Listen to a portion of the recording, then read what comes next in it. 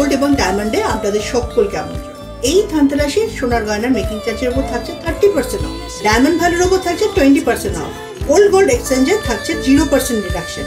এছাড়াও প্রত্যেকটি কেনাকাটার উপর থাকছে আকর্ষণীয় উপহার।